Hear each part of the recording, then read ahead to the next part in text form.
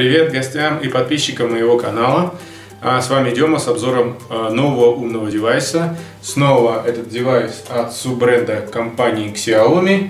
Называется он SmartMe 1S. Это нагреватель воздуха для квартиры, дома, дачи, а, который встраивается в систему умного дома. Давайте распакуем, потрогаем, потрогаем, пощупаем, подробно изучим все настройки, как этот настраивается девайс, как подключается к приложению Mi Home, а, какие у него есть фишки, а, как он работает в автомате, как им можно управлять удаленно. А впереди у нас конец зимы, отключат отопление и наступит межсезонье. Когда этот обогреватель будет для всех как раз кстати. Но прежде чем начать, я традиционно хочу сказать э, всем подписчикам, э, кто подписывается, оставляет комментарии, участвует в жизни канала, высказывает под каждым видео свое мнение. Огромное спасибо. Э, это большая помощь для развития канала, поэтому, пожалуйста, продолжайте дальше в таком же духе. А те, кто еще не присоединился, присоединяйтесь, буду рад видеть в числе своих подписчиков. Также, также, также хочу напомнить про розыгрыш, который идет у меня на канале. Разыгрываем мы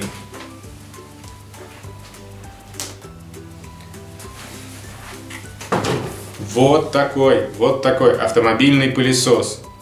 Очень классный. Обзор этого пылесоса и условия участия в конкурсе можно посмотреть вот в этом видео, которое всплывет вверху экрана. Так что присоединяйтесь в число подписчиков, участвуйте в конкурсе и выигрывайте этот пылесос. Все слова приветствия сказаны, и мы начинаем!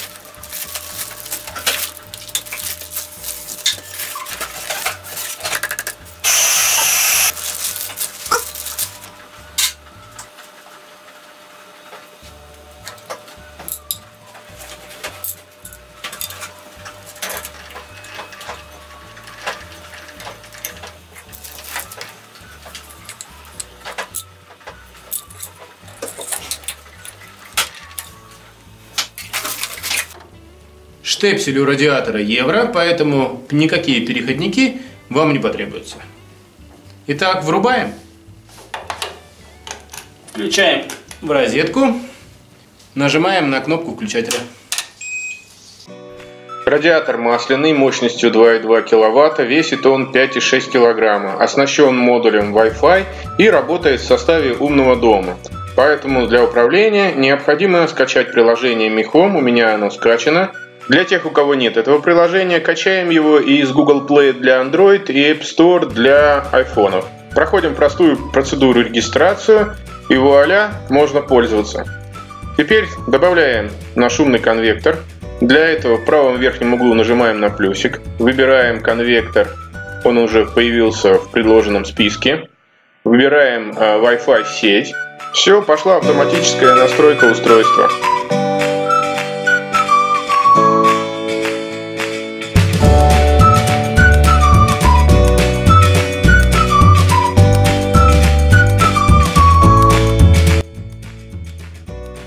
Настройка завершена, включаем.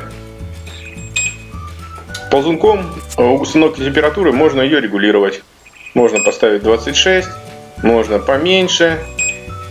Пошла жара!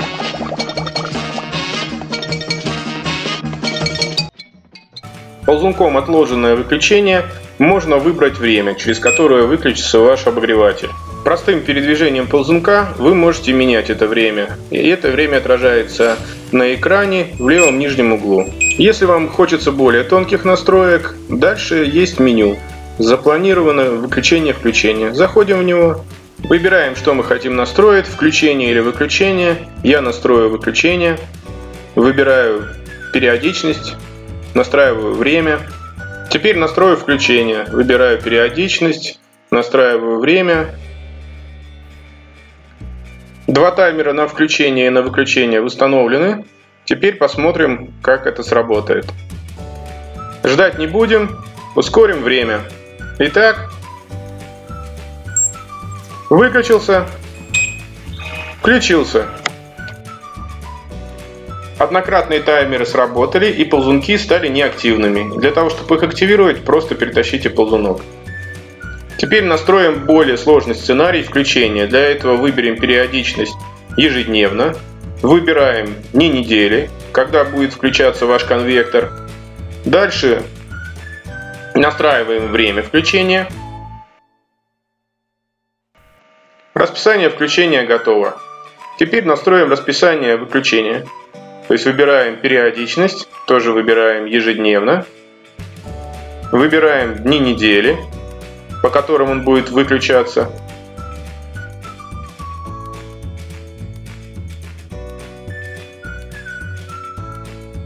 Настраиваем время, когда будет выключаться наш конвектор. Сценарии включения и выключения готовы. Активируются они просто перетаскиванием ползунка. Можно активировать, можно выключить. Пройдемся по остальным настройкам. Ниже можно установить яркость дисплея. Ярко, средняя или выключить. Также можно выключить звук оповещения перетаскиванием ползунка. Либо защиту от детей включить. Остальные пункты меню вызываются по нажатием трех точек в правом верхнем углу. А здесь вот можно изменить имя вашего устройства, Дальше можно выбрать место, где будет находиться ваш конвектор. Дальше можете поделиться управлением э, с другим человеком. Или настроить автоматизацию. Очень интересная штука. Если у вас есть другие устройства умного дома, вы можете настроить совместную автоматизацию. Например, если э, пылесос закончил уборку,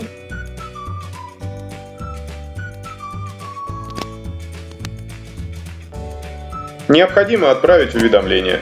И различных вариантов автоматизации просто куча.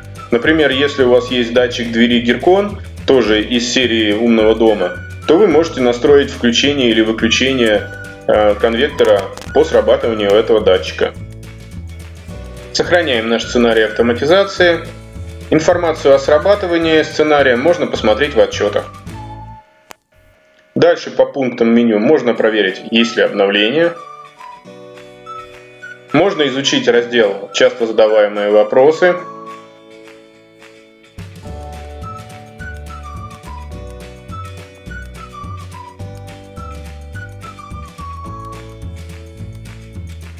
Можно изучить раздел юридической информации. Либо добавить эту программу на главный экран вашего устройства. В параметрах безопасности можете установить пароль для входа в приложение –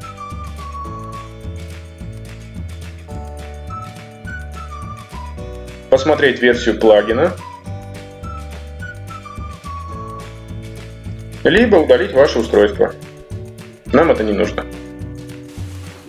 Итак, что я хочу сказать. Обогреватель отличный, нагрел комнату буквально за считанные минуты, стало невыносимо жарко. Я думаю, в межсезонье, когда отключат отопление, он будет меня спасать. По техническим характеристикам обогреватель масляный, 2,2 киловатта, весит он 5,8 килограмм, оснащен Wi-Fi. С помощью Wi-Fi и интернета этим обогревателем можно управлять удаленно, находясь в другой стране через интернет. Работает он по принципу, нагревая холодный воздух, который находится у пола, а воздух нагреваясь поднимается к потолку. То есть никаких принудительных вентиляторов в нем нет. Конвектор очень умный, а, включается, выключается по расписанию, можно настроить автоматизацию, что по какому-то событию из датчиков умного дома, например, пылесос закончил работать, после этого включился конвектор, или наоборот, то есть э, различные различные сценарии, как я уже показал в настройках, можно устанавливать по включению и выключению конвектора.